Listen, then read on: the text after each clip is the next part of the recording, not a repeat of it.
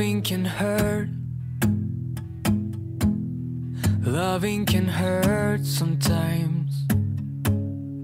But it's the only thing that I know.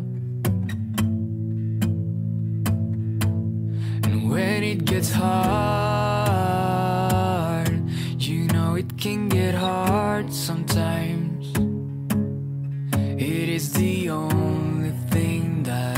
Makes us feel alive. Mm, we keep this love in a photograph.